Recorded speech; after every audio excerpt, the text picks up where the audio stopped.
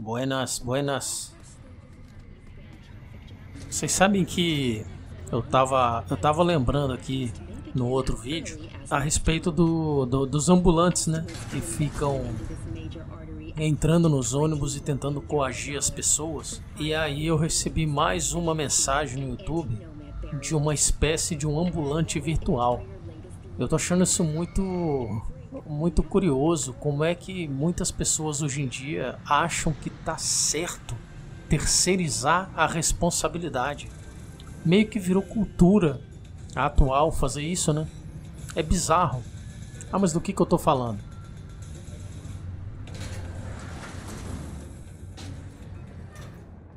Olha, e o meu canal é pequeno, hein? Imagine num canal grande quantos comentários desse tipo não devem chegar. Mas mais uma vez eu recebi um comentário dizendo que a culpa era minha. Ou melhor, a culpa é de vocês, dizia o comentário em relação a, entre aspas, youtubers, por terem criado a hype em relação ao cyberpunk. Pera aí, a culpa é minha? Eu criei o hype? Vamos falar um pouquinho sobre isso?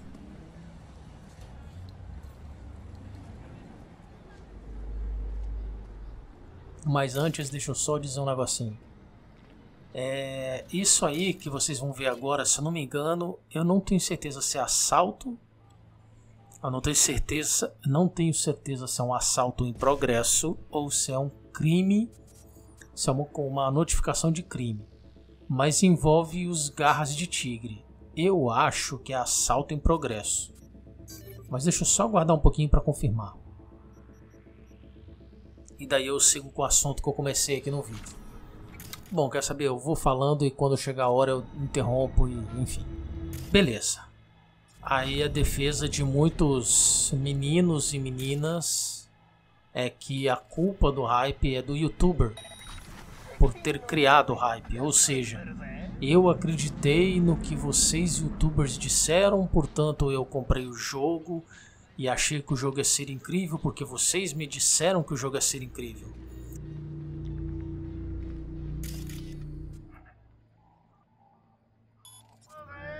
Primeiro, o que, que é hype?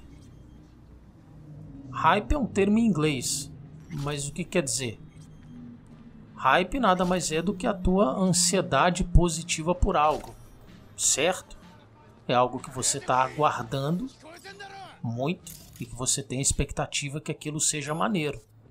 Pode ser um filme, uma série, pode ser um jogo, pode ser um presente que você vai ganhar, pode ser qualquer coisa. Você pode ter uma hype em relação a alguém que você vai encontrar e você imagina que o encontro vai ser irado. Pode ser com um amigo, ser uma amiga, ou alguém que está afim. A pergunta que fica é a seguinte: a hype ela vem da onde? Ela vem de estímulo externo? Ela vem da sua ilusão? Ela vem da onde? Eu sei que a minha hype com Cyberpunk veio 100% de mim e depois ela foi sendo alimentada em partes pelos vídeos da CD Projekt Red, pelas coisas que eu li a respeito do jogo, pelo feedback que pessoas que tinham jogado estavam dando. Jornalistas, né, que tiveram acesso ao game e tal. Mas eu nunca deixei de encarar o hype como responsabilidade direta minha. Afinal de contas, eu estava criando expectativas em cima do jogo. E eu quis dividir a minha hype, eu quis dividir a minha ansiedade, a minha animação, minha expectativa com várias pessoas fazendo vídeos aqui pro YouTube. Aí vem o menino e me diz que a culpa é minha dele ter criado expectativa a culpa é minha dele ter esperado uma coisa do jogo e essa coisa não ter sido entregue? Assim, você pode viver sua vida dessa forma, se você quiser, claro, terceirizando a culpa, terceirizando a responsabilidade. Você vai ser sempre o inocente e todo mundo que está em volta é o culpado por tudo. Não, eu cometi um crime porque a sociedade me fez assim.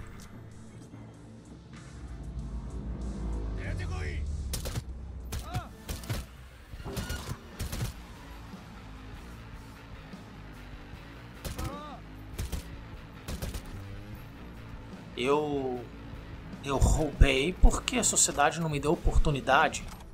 Não, eu, eu, eu matei porque a pessoa não quis dividir comigo. Ela tem muito e eu tenho pouco, ela não quis dividir, então eu matei para pegar o que eu queria. Não, eu, eu, eu, não, não, eu não causei a, a enchente, não. A enchente que deu aqui dentro da cidade não fui eu. Eu só joguei um papel de biscoito no bueiro. Esse bueiro não, não alagou e não alagou as ruas e não prejudicou a cidade toda por causa de um papel de biscoito que eu joguei. É por causa de um monte de papel de biscoito. Eu só joguei um, a culpa não é minha. Não, eu furei a fila, mas todo mundo tá furando a fila. A culpa não é minha. Eu não fiz nada de errado. Tá todo mundo fazendo tudo de errado. Então, assim, eu acho profundamente patético quem vem e fica querendo justificar o próprio erro, a própria cagada que fez nos outros.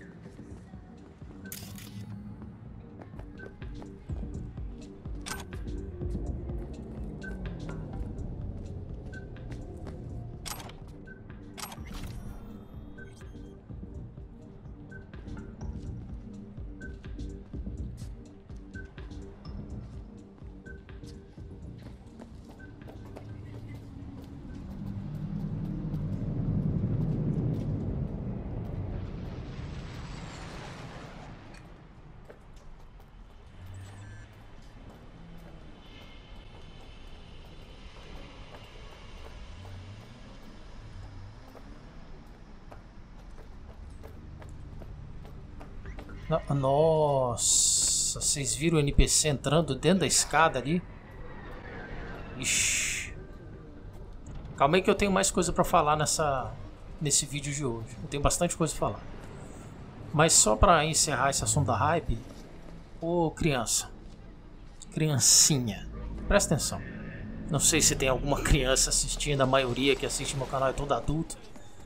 E a maioria que tá aqui é super civilizado, mas eu quis eu quis adereçar o assunto a esse, a esse comentário porque eu acho que é importante, acho que é uma coisa legal de falar. Nunca na sua vida terceirize a culpa se você quer crescer. Na verdade, você pode fazer o que você bem quiser da sua vida. Foda-se, a vida é sua. Se você quiser desperdiçar a sua vida, você pode. Mas eu digo assim, nunca faça isso se você quer de fato andar para frente e não quer ser chamado de moleque nem de menino. Se você quer ser chamado de homem, pare de terceirizar a culpa. Você quer que a sociedade não, te, não fique te tratando como incapaz, como uma vítima? Então pare de se portar como incapaz e como vítima. Óbvio, óbvio que se você foi vítima de um assalto, eu jamais vou dizer que a culpa é sua. Óbvio que se você sofreu algum tipo de racismo de verdade não imaginário, eu jamais vou dizer que a culpa é sua. Você realmente foi vítima de um crime. Mas vocês sabem do que eu estou falando, eu não preciso ficar me explicando. Virar para mim dizer, ou para qualquer youtuber, maior que ele seja, que a responsabilidade foi dele por criar hype. Quem era CD Projekt Red até o dia 14, 14? Não, até o dia 9, não, até o dia 8 de dezembro de 2020. Era uma das melhores empresas desenvolvedoras de jogos. Muitos diziam que era, ela era a melhor ponto final. Para mim, tinham duas intocáveis, a CD Projekt Red e a Rockstar. Was thinking about swapping some chrome. You got any new toys? Have a look. Claro que eu estou falando das grandes. E olha que dentre as grandes, a CD Projekt nem é tão grande assim, né? A CD Projekt, a CD Projekt em muitos aspectos ainda é uma desenvolvedora indie. O que que eles têm? Eles têm The Witcher 3, The Witcher 3. Eles têm The Witcher e agora tem Cyberpunk. A Rockstar, por exemplo, tem muito mais jogos que a CD Projekt Red. E se você comparar com uma Ubisoft, uma Bethesda, nem se fala. Mas vamos lá. Dentre as principais, as mais famosas, para mim eram as duas melhores, disparado na frente de todas as outras. Sem contar indies, né? Então, eu não tinha motivo para acreditar na CD Projekt Red. O que, que me levava a duvidar da CD Projekt Red? Eles tratavam o seu, o seu, sua base de fãs e os consumidores como nenhuma outra trata. Nenhuma outra. As práticas financeiras, comerciais da CD Projekt Red com a GOG e outras lojas, Steam, Epic, etc., são as mais amigáveis em relação ao consumidor final praticadas por uma desenvolvedora. Me mostre outra desenvolvedora que trate o consumidor de uma forma mais amigável. A CD, inclusive, está deixando muitos jogadores. Tudo bem, ela está retirando de alguns, mas ela está tirando, está deixando muitos jogadores pedindo reembolso e ainda continuarem com o jogo. Eu acho que isso vai mudar em algum momento, porque deve ser muita gente. Mas, enfim, eu não estou passando pano, apesar de eu ser advogado da empresa, e não estou dizendo que ela não merece críticas e que Cyberpunk é jogo perfeito. Mas eu acho que todo mundo que tem um mínimo de capacidade de interpretar texto e honestidade no caráter está compreendendo o que eu estou dizendo. Se você tiver com dúvida, me dá a chance de me explicar e me pergunta o que você quis dizer. Eu explico de novo.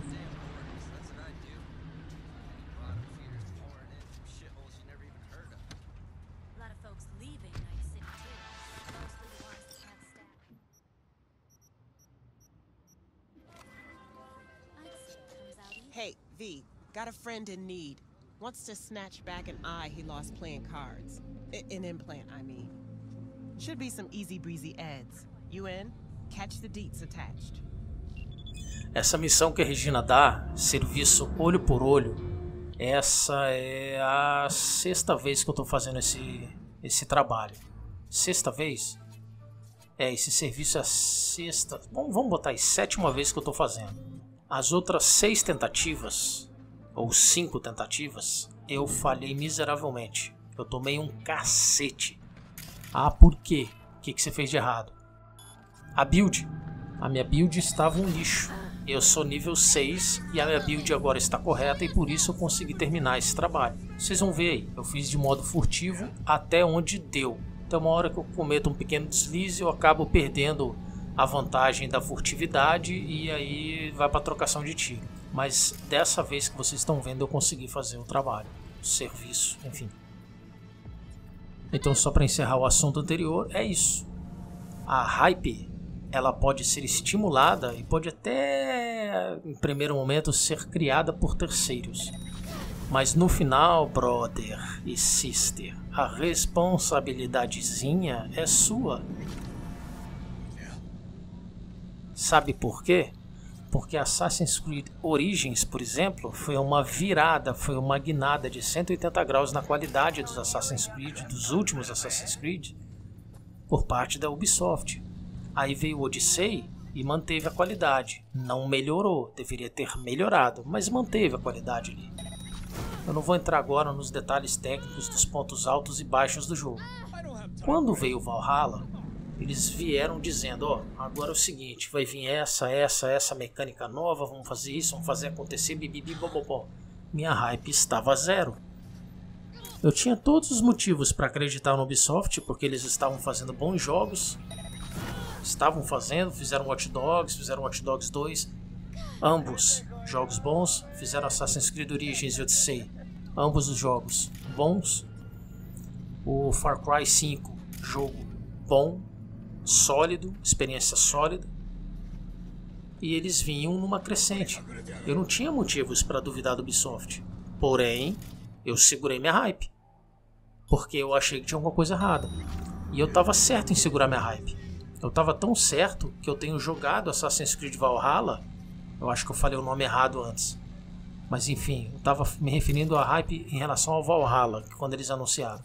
Eu fui segurando a hype em relação ao Valhalla e foi a melhor coisa que eu fiz porque eu estou jogando agora o Valhalla e eu estou me divertindo. Sabe por quê? Porque eu tinha zero expectativa no jogo, porque eu tinha zero hype. Eu tenho certeza, tenho certeza que se não tivessem a CD Projekt e as pessoas do marketing ajudado a alimentar a hype de Cyberpunk 2077, a repercussão negativa teria sido muito mais light. O lance da hype é que ela é uma faca de dois gumes. Se você tem uma expectativa e ela é superada ou atingida, cara, a tua relação com seja lá o que for vai ser maravilhosa. Se no final a tua expectativa ficou acima, a experiência ficou abaixo, pode ser a coisa mais maravilhosa do mundo. Você vai ficar com uma sensação de faltou. Vai ficar com uma sensação de fui enganado. Como eu tinha zero expectativa no Valhalla, eu estou me divertindo muito. Não acho que ele seja inovador em nada, mas que ele tem uma mecânica que me, aliás, inúmeras mecânicas que não estavam presentes em nenhum Assassin's Creed anterior.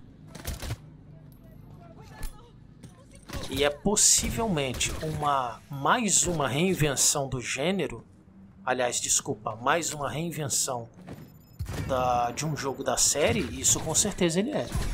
Eu tô me divertindo bastante com Assassin's Creed Valhalla.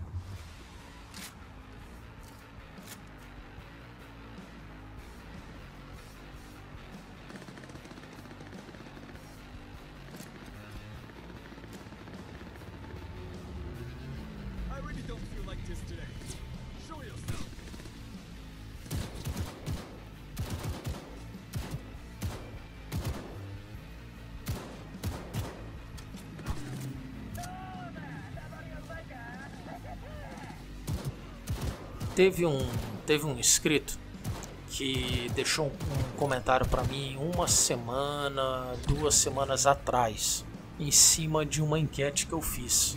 E o comentário dele acabou se perdendo no meio de vários comentários, porque ele também ficou retido pelo YouTube, devido a ele ter postado um link. E eu não tinha visto o comentário dele. E o comentário dele era basicamente a sugestão de um vídeo. Ele falou para mim: "Por favor, John, Ô, Johnny, veja esse vídeo aqui. Eu acho que vai ser bom para você ter mais perspectiva em relação ao Cyberpunk. Aí eu peguei e fui ver o vídeo que ele deixou, vi o link. Eu vou deixar a foto aqui para vocês, deve estar tá aparecendo agora. Esse vídeo que está aparecendo na tela aí, eu sugiro a vocês que assistam. Eu basicamente tinha ouvido dizer sobre alguns problemas da versão dos consoles de Cyberpunk 2077 e alguns problemas da, de, de, enfim, da versão do PC também, quando PCs não eram tão bons. E eu não consegui entender por que que estava tendo, tendo tanta repercussão negativa em cima do jogo por conta de um glitch aqui, um bug ali, uma, um problema com renderização com textura lá. Mas que pessoal, pé no saco. Tudo bem, o jogo tá cheio de problemas, merece crítica, mas estão fazendo muita. estão exagerando, né? Aí esse inscrito me mandou, eu acho que ele é inscrito. Ele me mandou, a, eu não sei se ele me deu autorização para divulgar o nome e a foto dele, então eu não vou divulgar o nome nem a foto. Mas ele sabe que eu tô falando dele. O que que acontece? Eu fui ver o vídeo. Eu vi inclusive hoje de manhã. Brother, o que que é Cyberpunk nos consoles? Puta que pariu, velho. Nossa, tá muito zoado. Tá muito mais zoado do que eu vi os comentários no Discord. Para quem ainda não sabe, o canal tem um Discord e tem muita gente comentando lá, principalmente na época do lançamento teve muito comentário lá. E a galera falando que o jogo tava ruim, que o jogo tava ruim, que tava bugado, isso e aquilo, e eu não tava entendendo direito porque as pessoas estavam mais ou menos descrevendo um ou outro erro que às vezes aparecia no PC. E eu pensei, poxa, mas só por isso? Eu pensando comigo. O fato é que existem mais erros, mas tantos bugs, tantos glitches, tantos problemas com inteligência artificial nos consoles e muitos dos problemas que eu acabei de falar nos computadores mais fracos, mas são tantos que eu não fazia a menor ideia. Esse vídeo são 40 minutos de um compilado de todo tipo de bug, de glitch, de problema com inteligência artificial, Mas não é só um compilado.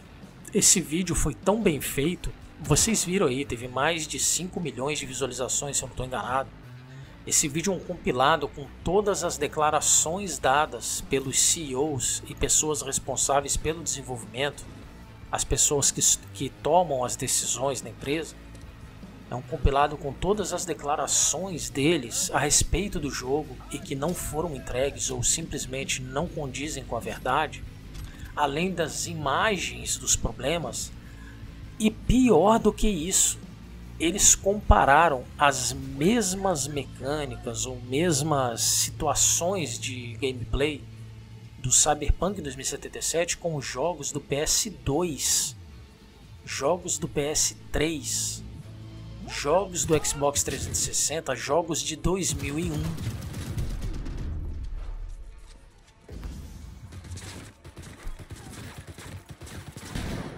Se eu não me engano, tem até um jogo de 1996, muitos jogos antigos, como por exemplo GTA, é, GTA, desculpa, GTA 3, GTA Vice City, mas principalmente o GTA San Andreas, o GTA 4 e o GTA 5, mostrando a mesma situação nesses GTAs em contrapartida com o Cyberpunk e como a Rockstar conseguiu fazer algo simples e a simples e a CD Projekt Red simplesmente não conseguiu. Mas não é só o GTA. Eles comparam também cenas, cara, iguais, eles põem lado a lado. Por exemplo, dá um exemplo bem besta. Você está pilotando uma moto, a moto bate num obstáculo e você sai voando.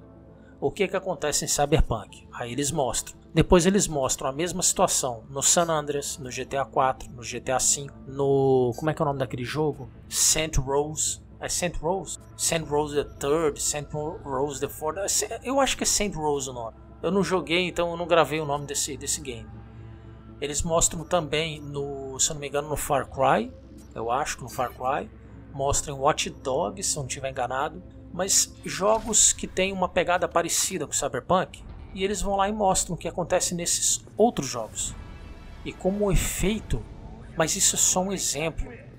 Eles mostram, por exemplo, você pegando uma pistola e dando tiros na água. Eles mostram o personagem dentro da água. Eles mostram o personagem pilotando o carro ou tirando uma pessoa de dentro do carro, no roubo e entrando dentro do carro. Mostram a reação diferente da polícia nesses outros jogos e da polícia em Cyberpunk. E aí você começa a entender o fiasco, o desastre que foi o lançamento de Cyberpunk. E não é, repito, não é por falta de competência do time de desenvolvimento, não é por falta de competência da empresa que está desenvolvendo que é a CD Projekt Red, não é por falta de, não é por falta de, de, de polimento ou de acabamento ou de programação, ou seja lá do que for, é porque é porque faltou tempo. É porque as pessoas que tomam a decisão tinham que ter deixado os desenvolvedores trabalhar nesse game um ano, dois anos mais. E pegaram um jogo em early access e simplesmente lançaram. Então, quando você vê esse vídeo comparativo tanto com as declarações dos CEOs quanto as imagens do jogo da CD e as imagens de outros jogos, inclusive 10, 15 anos mais velhos, 20 anos mais velhos que Cyberpunk e que funcionam perfeitamente com essas mecânicas e no Cyberpunk não funciona, você entende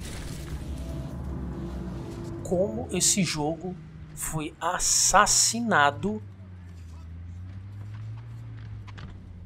pela decisão completamente errônea, para dizer o mínimo, né? Decisão burra de CEOs ou enfim de, de acionistas ou de, das pessoas que têm influência nas decisões querendo adiantar o lançamento da parada.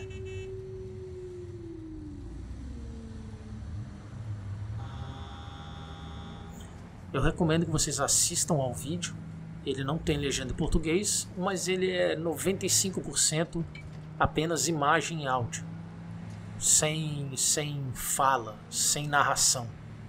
Então basta você olhar e entender o que está acontecendo. Não tem tanta dificuldade assim para poder entender. Recomendo que vocês assistam. Se você tem um pouquinho de compreensão em inglês, aí você vai curtir 100% do vídeo.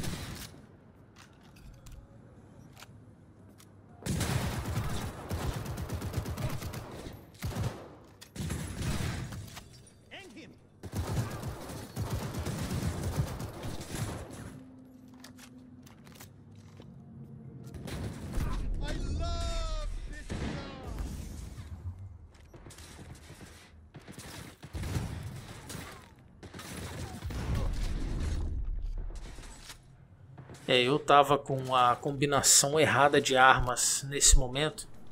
Eu precisava de um fuzil ou de alguma arma que desse mais dano à distância, porque atirar com escopeta com o adversário bem, bem, bem de longe, você até acerta ele, mas o dano é bem menor. A escopeta é uma arma para um pouco mais, assim, mais proximidade. Armas para dano de longo alcance Idealmente fuzis, metralhadoras, coisas assim.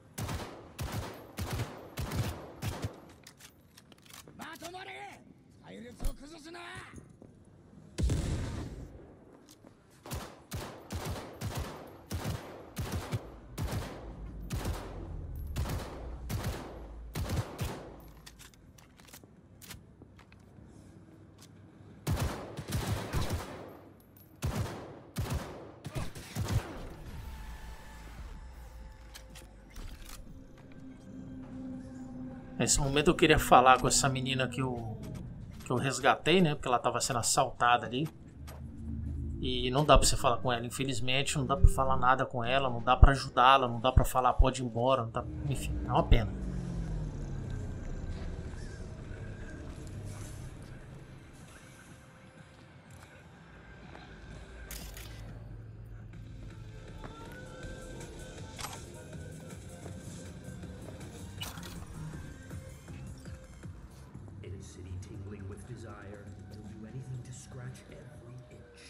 Se desse para pegar um desses espetinhos que tá aí nessa, nessa lojinha aqui, né? Para poder recuperar o HP, eu pegava, mas infelizmente não pode, você tem que você tem que ir atrás dos seus consumíveis mesmo. Ou você usa esses esses air hypos, essas injeções, né? Jacob got his eye back, so I'm closing this gig, but V, we both know that wasn't top quality work. Maybe try a little harder next time, okay?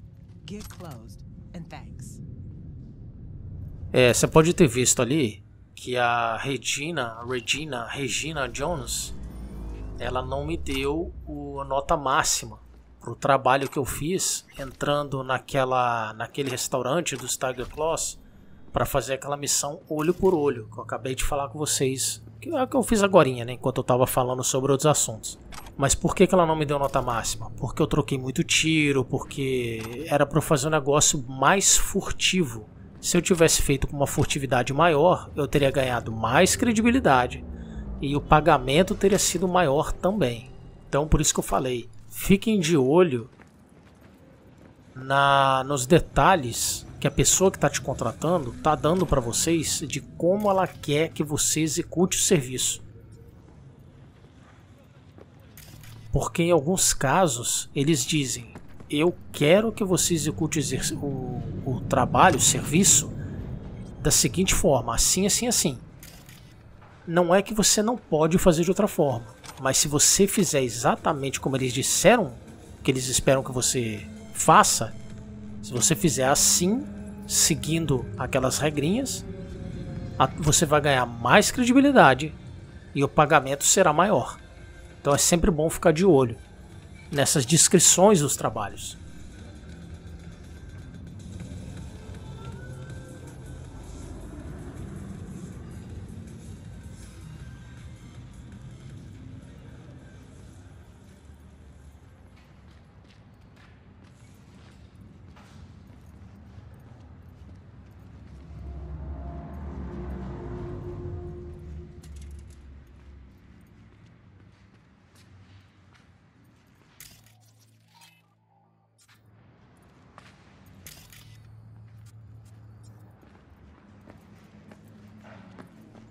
Eu vou recomendar mais uma vez para vocês dois documentários que tem na Netflix. Wild Wild Country, que fala sobre uma comunidade religiosa que surgiu nos anos 70, anos 80 e que foi um dos maiores fenômenos que o planeta já viu em relação a isso. E não é chato. Não é um documentário chato, não é um documentário arrastado, muito pelo contrário vocês vão ver o primeiro episódio, vocês não vão conseguir mais parar de ver, vocês vão querer maratonar a parada. E o outro é o Tiger King. O Tiger King virou um fenômeno tão grande no mundo que vai ter até filme. Então eu recomendo que vocês vejam ambos.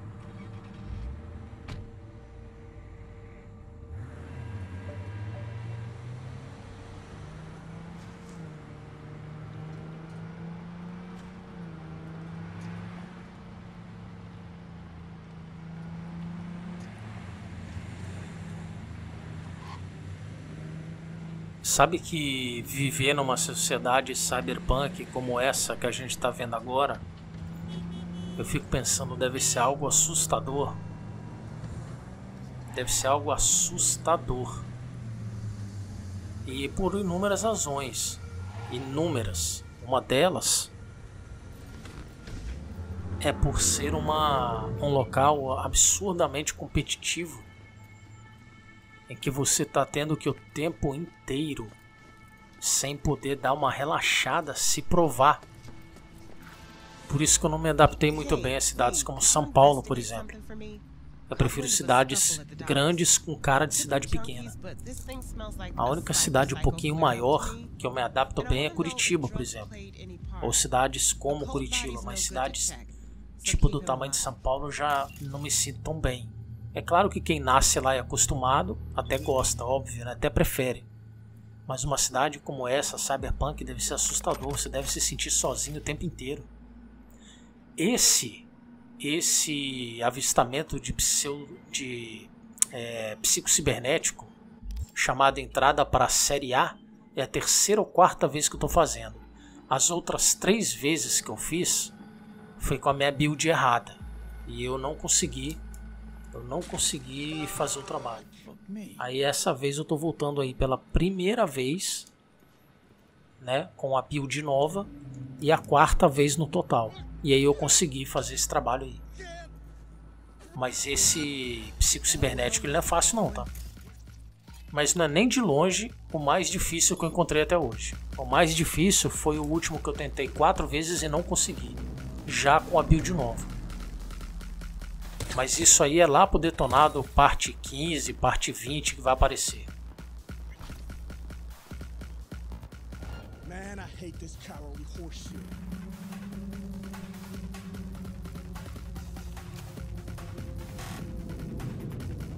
You're fucked now.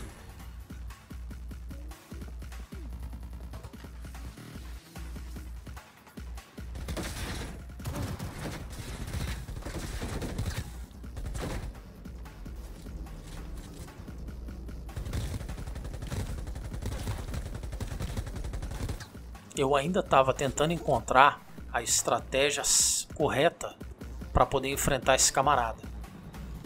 Eu ainda estava tentando. Eu tentei usar hacking, eu tentei usar bomba, eu tentei pegá-lo na surpresa.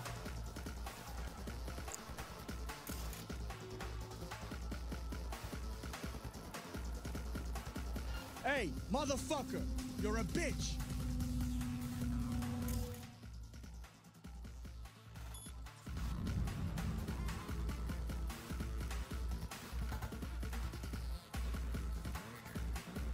Podem ver, eu tô tentando o hacking. Mas eu usei o hacking errado, acho. Até. Eu deixei ele cego, na verdade. E eu não sei por que, que eu fiz isso. Eu cheguei pertinho de. Ah! Eu lembrei agora o que eu quis fazer. É porque tem tempo que eu joguei isso. Eu deixei ele cego. E daí eu tentei ir por trás dele para fazer aquele abater de forma silenciosa. Sabe, tipo mata-leão? Mas ele não aceita. Nos psicocibernéticos você não pode fazer isso no psico cibernético você tem que lutar, por assim dizer. E aí ele quase, quase me matou. Ele é bem forte. Esse psico cibernético aí é bem forte.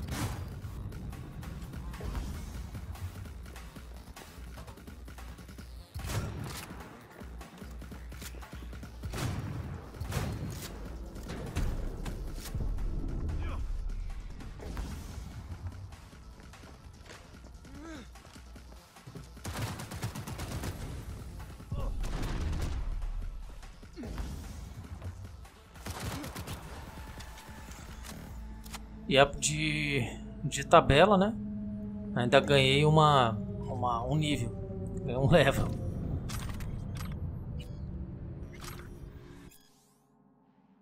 Vocês. Vocês acreditam que eu ainda não entrei na água nesse jogo? Eu tenho mais de. Na verdade, eu tô com 100 horas. Eu não, não caí na água ainda. Não mergulhei. Não tive essa experiência. Em parte porque me disseram que não tá legal. Mas eu não tenho certeza se não tá legal. Se tá legal, se não tá legal, não tenho certeza. Eu sei que eu tô esperando a CD dar uma mexida nesse jogo, chegar mais conteúdo para eu voltar para ele. Como eu tenho muita gameplay gravada, eu vou gravando, eu vou, na verdade, desculpa, eu vou editando, eu vou postando para vocês e tô deixando de lado um pouquinho esse game aí tenho jogado bastante o Minecraft também. Voltei para o Minecraft para fazer alguns vídeos. Tenho jogado o, o, o Assassin's Creed Valhalla e também o Death Stranding do Kojima. Eu acho que eu disse em outro vídeo, mas eu vou correr o risco mais uma vez e vou repetir aqui. Eu não acho o Kojima tão legal. Tipo assim, os jogos dele. Não sei, eu não gosto tanto. Não é, não é nem que eu ache ruins. Não é que eu acho os jogos ruins, eu só não me divirto tanto. Mas aí eu pensei, o Death Stranding tem uma pegada meio. Ele é tranquilo, você tem que ficar andando bastante.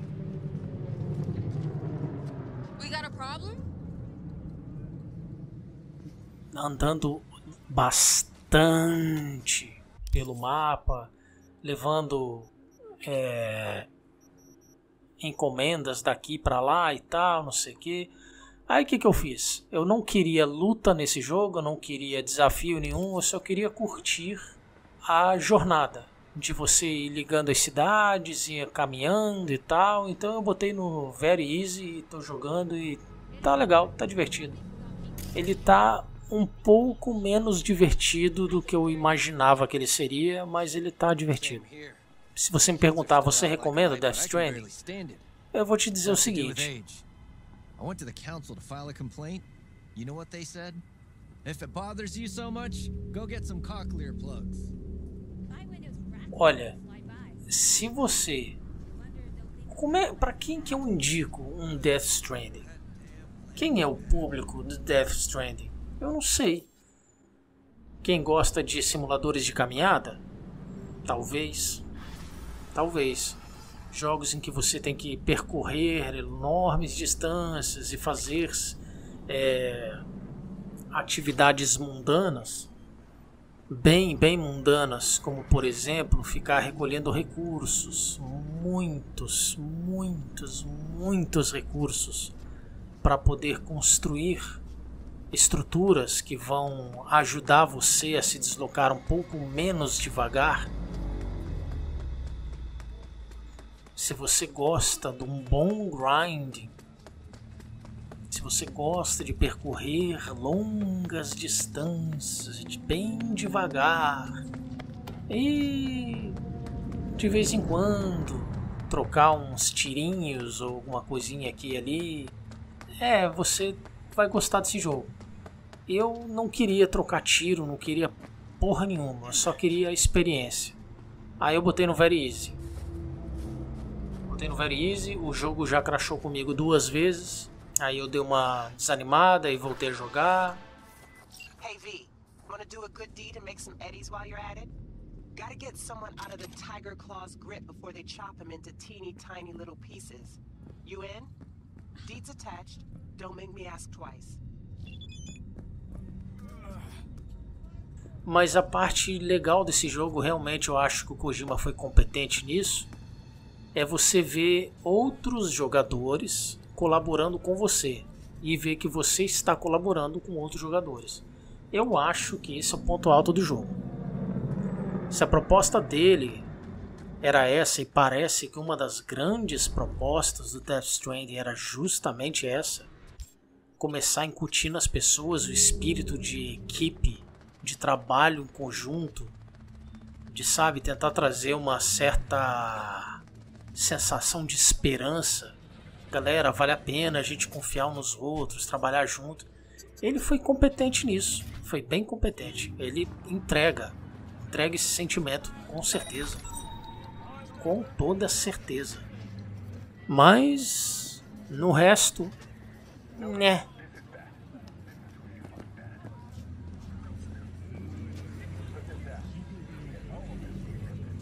Você tem lá o Norman Reedus, né, o Daryl do The Walking Dead. O personagem dele tem o carisma dele. Você tem lá uma propaganda lá do, do Monster, o energético Monster Drink lá, na cara dura. Foda-se, você passa por cima disso. Não me incomoda, para te falar a verdade, não me incomoda. Deve ter dado um bom dinheiro para aparecer no jogo, que deve ter ajudado também ao que o game ficasse mais parecido com aquilo que o Kojima visualizava, né? Imaginava.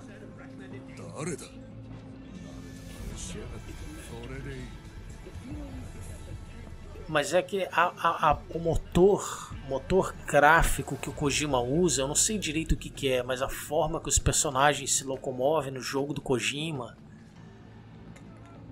o estilo de luta, o estilo autoral visual do Kojima, ele não, não me agrada tanto.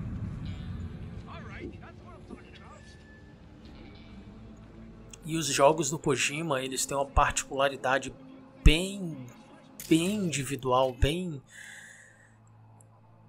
original dele, bem marcante, que eles têm cenas longas de diálogo, bem longas. Se você tá curtindo o game, puta, você vai amar se você não tá ligando muito para a história ou pro game, você só quer pro jogo, você só tá querendo jogar mesmo, sem dane-se, eu só quero jogar aqui o joguinho, pode ser meio cansativo isso para você. Eu, por exemplo, eu presto atenção em algumas cutscenes que eu sei que tem a ver com a história principal E algumas outras, eu não sei se tem a ver com a história principal ou não, eu acabo pulando porque eu já não estou mais com paciência. Então, eu não sou exatamente a pessoa adequada para fazer uma análise crítica do Death Stranding. Eu posso dizer como está a minha experiência e o que, que eu gostaria de fazer no jogo. E se eu estou curtindo ou não. Mas eu vou ser bem objetivo. Se eu pudesse devolver o jogo e pedir um reembolso hoje, eu faria. E não é porque eu achei o jogo ruim, é só porque eu não estou achando ele tão divertido a ponto de eu querer continuar com, com as minhas gameplays. Tanto é que eu jogo ele tipo uma vez por semana. Daí eu jogo ali uma hora, duas horas e largo ele de mão. Eu fico cansado depois das minhas sessões de uma hora, uma hora e meia. Eu fico cansado de ficar andando, andando, andando, andando. Recolhendo pastas e malas e valizes e equilibrando o personagem porque ele começa a querer cair para um lado, começa a querer cair para o outro.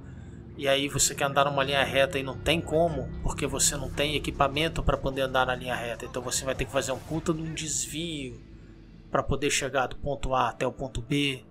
Então esse tipo de coisa depois do tempo começa a me encher o saco.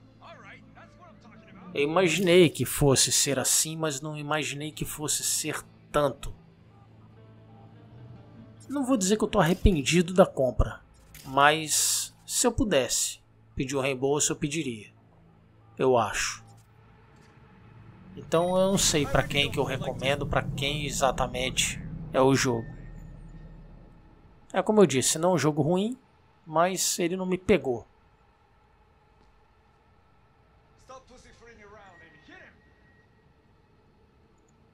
Essa gameplay desculpa, esse serviço que eu estou fazendo agora, que se chama Esporte Sangrento, ele é.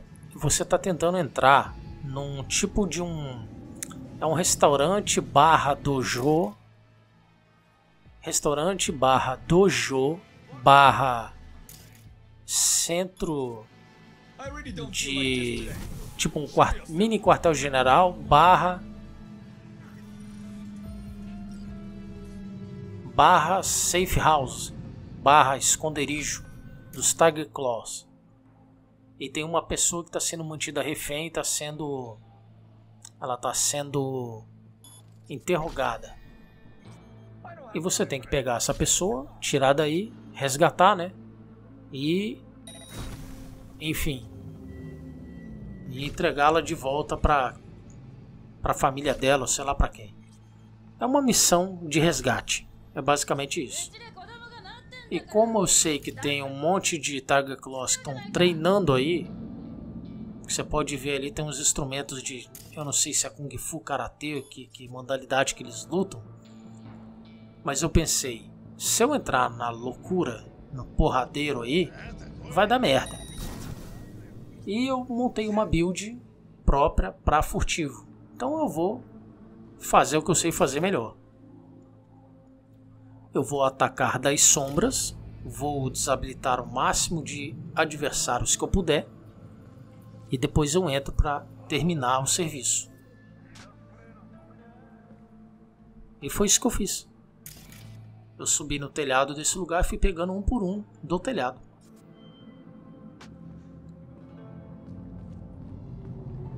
Vocês podem ver vocês podem ver ali ó, que uma das opções é uma das condições opcionais para essa missão, para esse serviço, é você não levantar suspeitas. Se você não levantar nenhuma suspeita, você vai ter feito o serviço de forma perfeita, vai aumentar a sua credibilidade e vai é, te dar mais grana no final.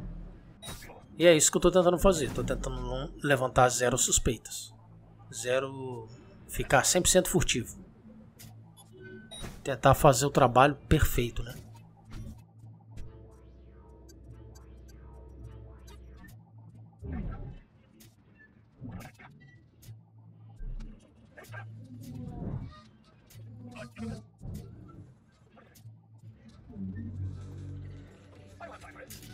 Vocês devem estar me vendo andar para cá e para lá, para cá e para lá, é porque eu tô eu tô tentando encontrar qualquer tipo de adversário, qualquer tipo de adversário que possa me causar problemas e tô tentando pegá-los no furtivo. Para eu entrar o mais rápido que eu puder, resgatar o, o, o sequestrado e ir embora daí. Vocês podem ver que por enquanto eu tô indo muito bem. Eu tô 100% furtivo. Ninguém ainda sabe aonde eu tô e nem quem é que está atacando os Tiger Claws aí dentro.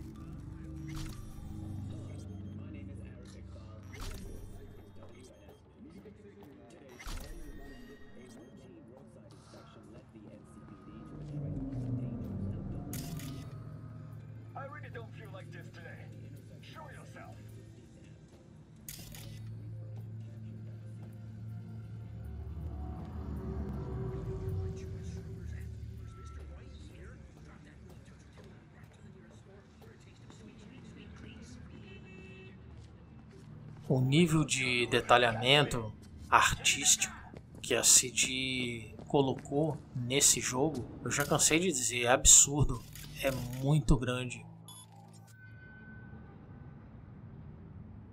Suje... Olha esse bloco aqui na esquerda, essa coluna aqui. Olha o descascado.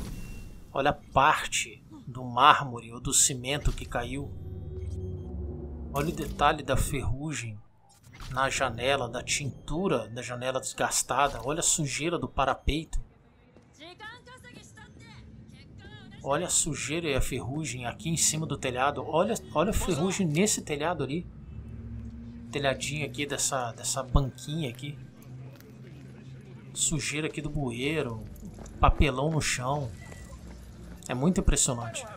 É muito detalhezinho. Você vê que foi bem trabalhado.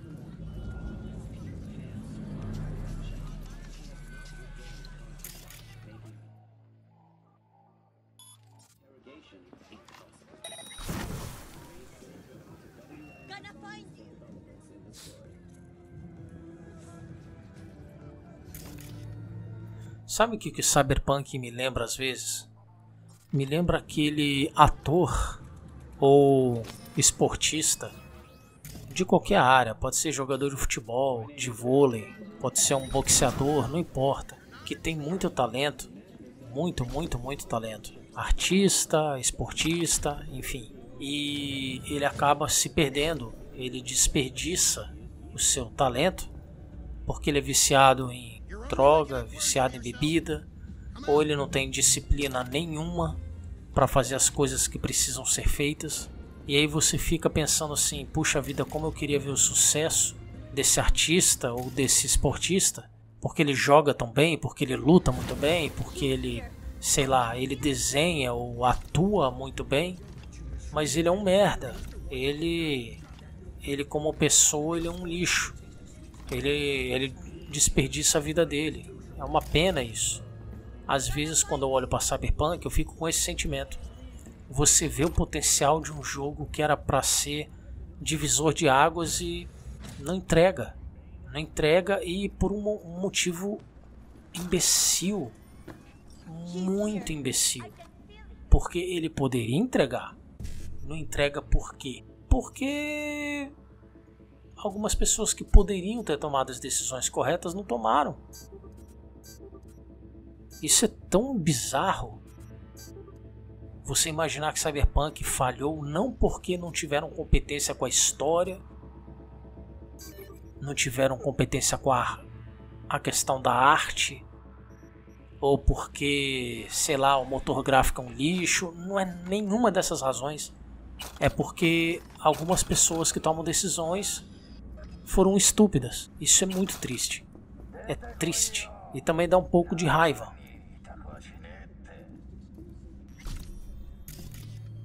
Porque é como você vê alguém que tem muito dinheiro reclamando que a vida está difícil. É claro que eu estou exagerando aqui. Não é que eu acho que quem tem dinheiro não tem direito de reclamar, mas não vou ficar explicando tudo que eu falo. Vocês, eu tenho certeza que vocês estão entendendo o que eu estou querendo dizer. Sei lá, é como uma criancinha dizendo que está cansada de tantas responsabilidades, reclamando com o pai dele, por exemplo. Ai, você não sabe a quantidade de responsabilidade que eu tenho. o pai olha para a criança e fala: "Vai pagar uma conta de luz, depois você me fala de responsabilidade". É nesse sentido que eu tô querendo dizer. Cyberpunk tem tem tudo para decolar. Não decola por uma idiotice.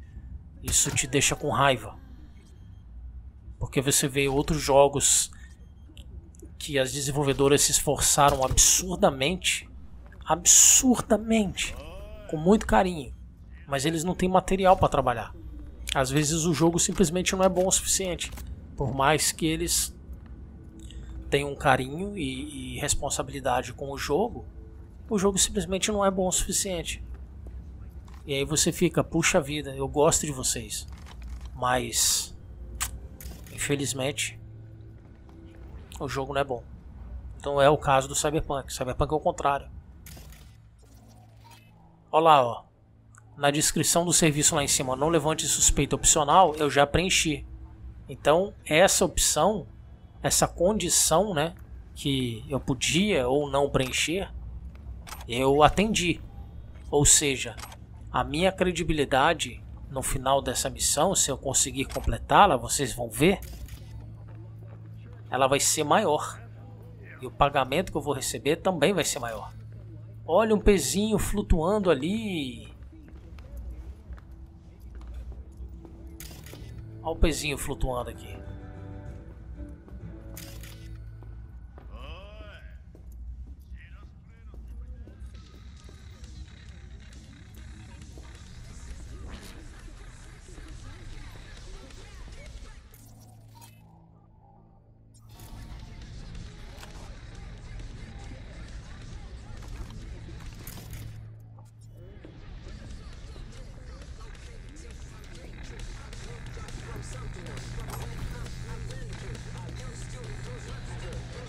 Eu tô tentando desligar o rádio. Mas o cara morreu em cima do rádio.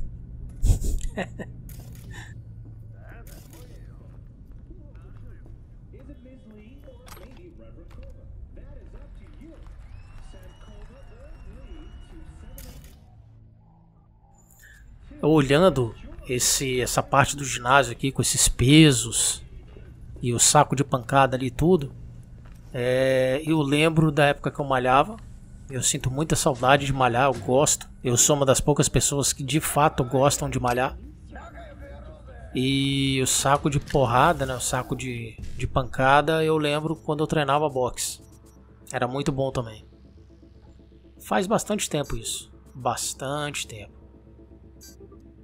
Eu treinei bastante, foi em que ano mesmo? 2002, 2003, por aí. Eu cheguei na época a receber um convite para ir treinar na Alemanha. Um lutador estava indo para lá, isso lá em Curitiba, né?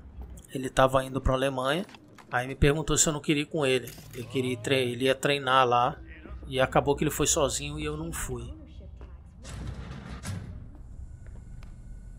Eu acabei seguindo outro rumo na minha vida, mas foi uma época legal. Eu gostava de treinar. A verdade é que eu comecei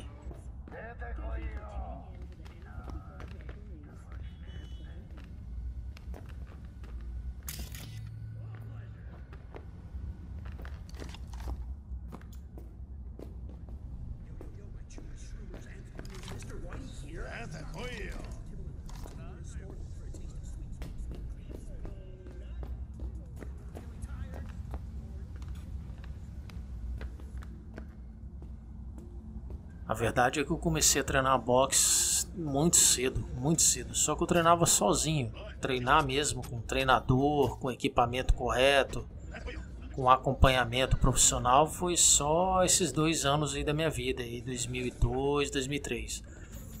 Mas sozinho, eu treino boxe desde os treino boxe desde os acho que 12, 13 anos. Eu treinei mais de 10 anos sozinho. Bem mais do que isso. Nossa, bem mais. Quase 20 anos. Acho que mais de 20 anos. Sinto inclusive falta disso. Tem gente que acha exercício físico um saco. Eu adoro fazer exercício físico. Tem, inclusive, uns 10 anos que eu não me exercito. Não me exercito. Não, tem tudo isso não. Não, tem tudo isso não. Mas já tem uns anos que eu não faço exercício físico. Mas por outras razões. Não é por preguiça nem nada não. E cara, como eu sinto falta disso. Eu já cheguei a. Eu já cheguei a ter três turnos num dia. Eu treinava de manhã cedo, treinava de tarde e treinava no início da noite. De manhã cedo era só exercício aeróbico, corrida, pular corda e outras coisas. De tarde e de noite. Não, de tarde, musculação. E era puxado, era pesado. Me lembro que o pessoal da academia ficava olhando e. Rapaz, esse cara aí. E à noite eu terminava com aeróbico de novo. Na verdade, eu não sei nem se pode ser considerado aeróbico, era natação, né? Acho que é aeróbico. Mas eu nadava mais uns 40 minutos. 20 minutos, intervalo, mais 20 minutos. E eu nadava na praia. Eu ia na praia nadar. Eu pegava 4 horas da tarde, 5 horas, até o sol estava já quase no fim, assim, se pondo mesmo, lua nascendo já. Aí eu voltava. A água, nessa hora do dia, quentinha. Quentinha. A água do Espírito Santo é puta gelada. Nossa, que água gelada. Mas quando você pega no final da tarde, principalmente início da noite, ela tá quentinha.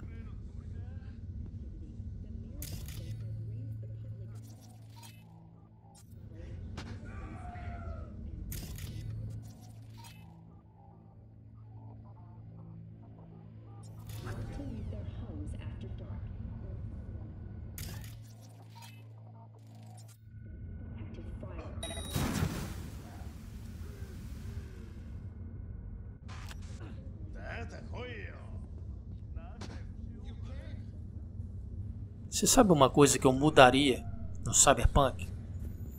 Esse negócio do superaquecer. Eu acho que superaquecer deveria ser algo que você causaria mais dano se a pessoa que você está tentando superaquecer tivesse muitos implantes. Se fosse alguém que não tivesse muitos implantes, ou dependendo da quantidade de implantes que a pessoa tivesse mais ou menos, o seu dano de superaquecer seria maior ou menor. Só que no Cyberpunk, independente disso, o seu dano vai ser sempre igual. Você pode ir aumentando o dano. Mas não importa se a pessoa tem muitos implantes ou poucos implantes, você sempre vai causar muito dano. Eu acho que o ideal seria você só poder causar muito dano se a pessoa tivesse muito implante. Sei lá, é uma coisa que eu mudaria. Eu acho que aumentaria um pouquinho a imersão e deixaria a própria gameplay, o desafio da gameplay mais interessante.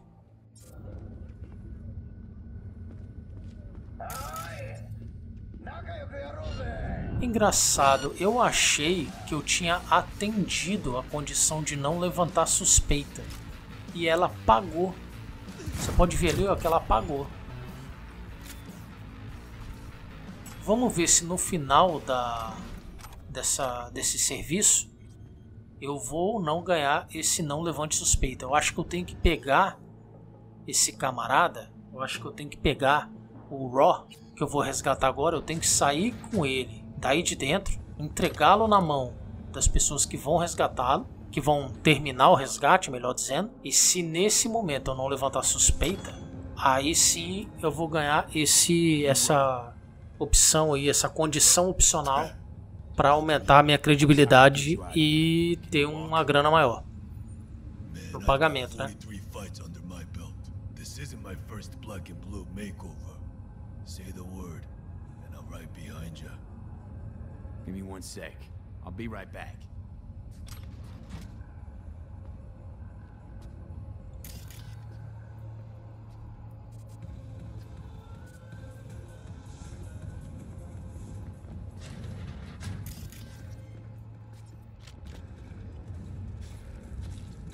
Okay, then get up.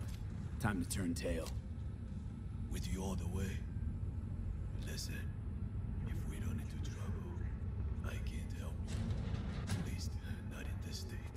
I'll handle it.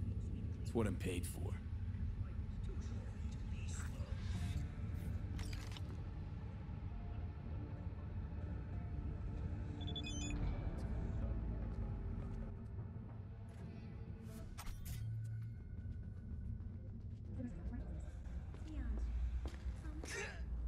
Eu me perdi um pouco nesse nesse serviço, porque esse lugar ele é, ele- não vou dizer que ele é um labirinto, mas como é uma vamos botar aí, vai, é um tipo de um quartel generalzinho dos Tiger Claws.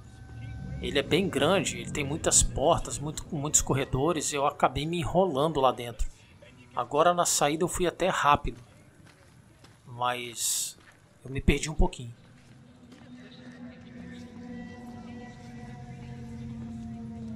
E aqui vai ter uma. Aqui vai acontecer um negócio interessante. Vocês vão ver. Porque eu saí com ele pela lateral. Presta atenção que vai acontecer.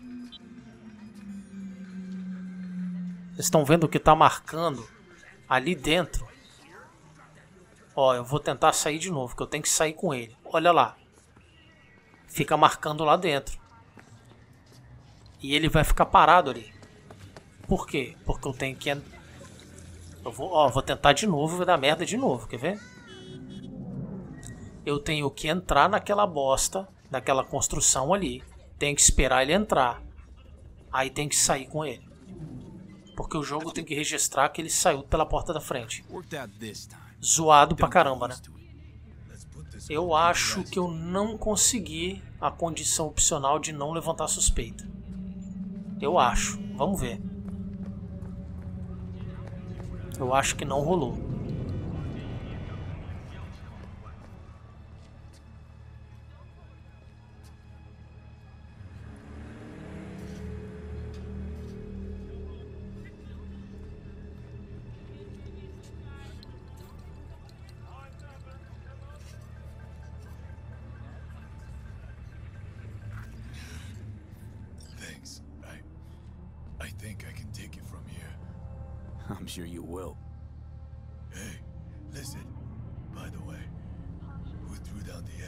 Bust me out?